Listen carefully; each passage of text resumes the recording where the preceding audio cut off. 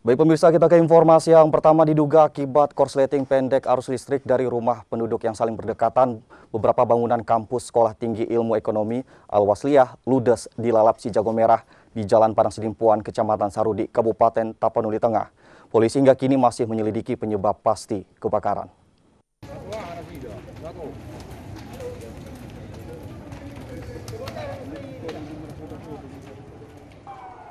Beberapa petugas keamanan kampus terlihat berupaya memadamkan kobaran api dengan menyemprotkan apar ke bagian ruangan yang terbakar.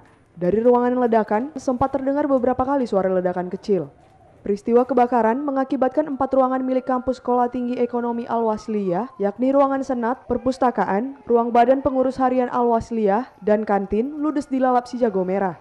Selain itu, dua rumah warga yang bersebelahan dengan lokasi kebakaran juga terkena jilatan api. Tiga unit mobil pemadam kebakaran Pemkap Tapanuli Tengah yang tiba di lokasi kebakaran langsung berupaya memadamkan kobaran api. Setelah berjibaku satu jam lamanya, akhirnya kobaran api berhasil dipadamkan. Menurut salah seorang pengurus kampus STIE Al-Wasliyah, api pertama kali terlihat di luar kawasan kampus dan langsung menjalar ke ruangan perpustakaan kampus.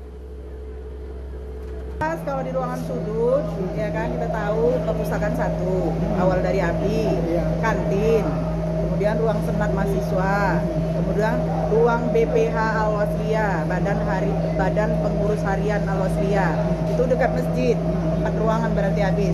Tetangga-tetangga kita lah, itu kan habis semua kan, kayak koko berdampingan. Sapi jelas dari luar STI, dari luar rumah e, penduduk. Kemungkinan dari belakang, karena asapnya aja yang masuk. Tiba-tiba besar mungkin hari terik kan. Untuk penyelidikan lebih lanjut, Kepolisian Polres Tapanuli Tengah langsung memasang garis polisi. Dari Tapanuli Tengah, Raymond Ainius melaporkan.